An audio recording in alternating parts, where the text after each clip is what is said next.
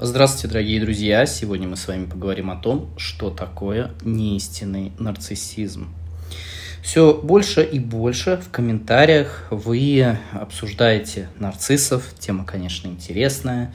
Тема для многих женщин достаточно болезненная, и мужчин в том числе. Э, кто-то себя приравнивает к нарциссам. И, ну, путем, я не знаю, то ли рекламы, то ли еще, не знаю, чего-то, может быть, того, что всегда нас притягивают какие-то патологические личности, очень тема нарциссизма стала популярной и такой модной.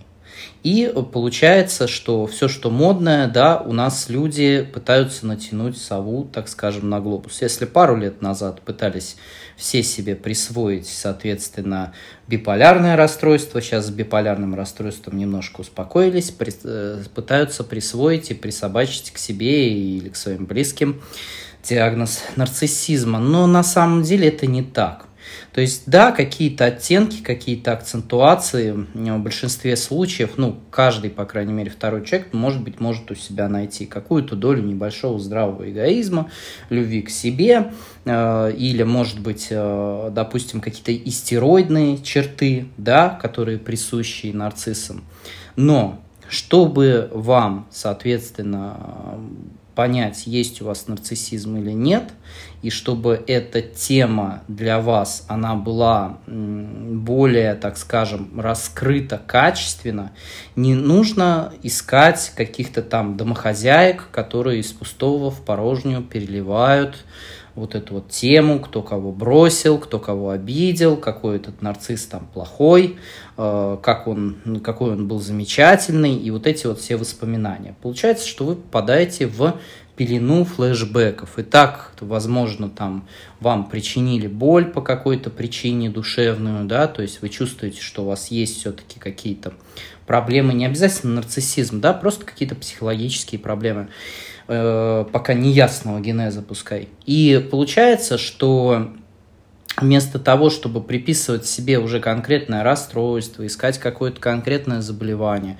вы сначала должны прочитать, найти качественный источник этого э, расстройства. У меня есть на моем канале Э, там, где нарисован мой переводчик Монг, такой чернокожий парень, мы вместе с ним записывали видео, и мы вместе с ним переводили DSM. С небольшими оговорками. Монг там сделал как бы более лучший, более качественный текст, более качественный перевод DSM, и там по пунктам все расписано. То есть, если вы не попадаете вот в эти пункты, а только одним каким-то признаком да, совпадаете с нарциссом, это не истинный нарциссизм. То есть, не настоящий. Да, возможно, какие-то признаки будут присутствовать, но какие-то признаки, они могут варьироваться и быть присущи как и нарциссизму, так и биполярному расстройству личности, э, психопатии, социопатии, России, где-то будет ну, что-то перемежаться, что-то будет между этими всеми вещами общее, какие-то маленькие черты, маленькие штрихи.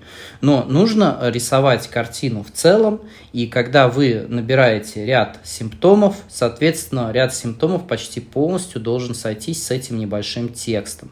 Также есть, соответственно, в интернете тексты DSM в разных видах, в разных переводах уже есть, особенно по нарциссизму, соответственно, вы можете перечитать и необходимо перечитать перечитать оригинальный текст, чтобы начинать изучение нарциссизма, дорогие друзья.